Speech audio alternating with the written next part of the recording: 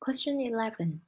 Assume that the reserve requirement is 20% and uh, the bank does not hold any excess reserves and the public does not hold any cash.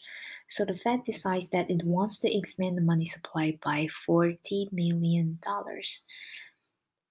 So if the Fed is using open market operations, will it buy or sell bonds? So it will buy bonds because by buying bonds, it inject money into the into the economy.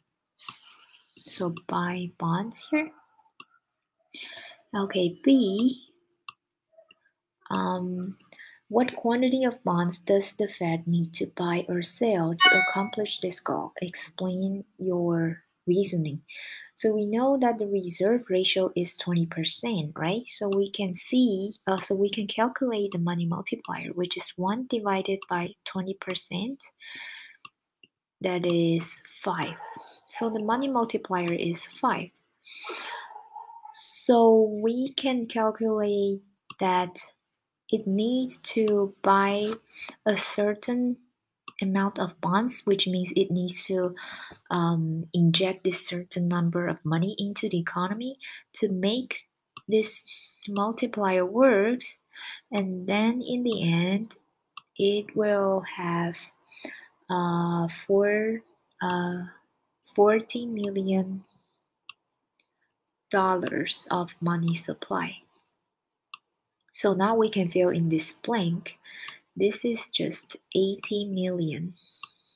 80 million dollars.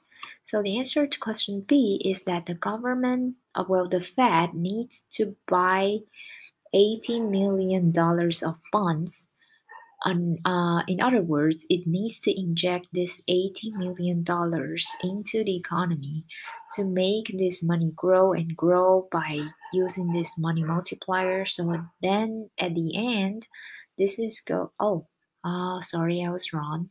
I was wrong. This is 8 million, not 80 million. Yeah, because 8 times 5 is 40.